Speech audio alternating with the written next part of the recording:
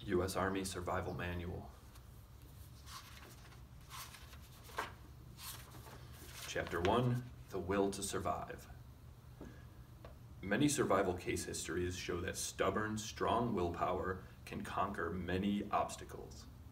One case history tells of a man stranded in the desert for eight days without food and water. He had no survival training, he did nothing right. But he wanted to survive, and through sheer willpower, he did survive. With training, equipment, and the will to survive, you will find you can overcome any obstacle you may face. You will survive.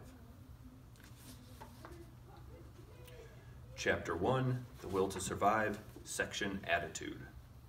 Having a survival attitude for whatever may occur is extremely important. Mental and actual rehearsal of emergency procedures prepares a person to take automatic action.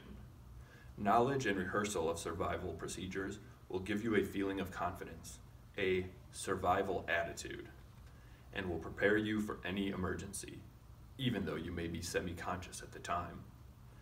A person without a positive mental attitude may panic under dire circumstances.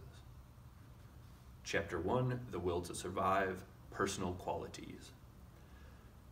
Personality also plays an important role in survival. In fact, it may have more bearing on survival than danger, weather, terrain, or the nature of the emergency. For example, whether a person's fatigue dulls or sharpens his mind, overcomes or intensifies his ability to take necessary survival actions, or lessens or increases his determination to carry on depends, to a large extent, more on that person than on the situation. The following personal qualities are important to survival.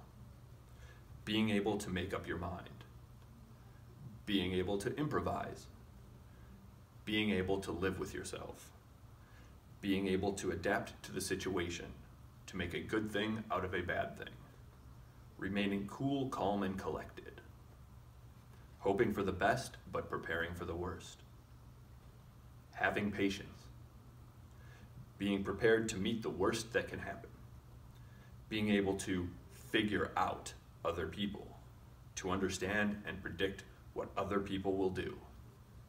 Understanding where your special fears and worries come from and knowing what to do to control them.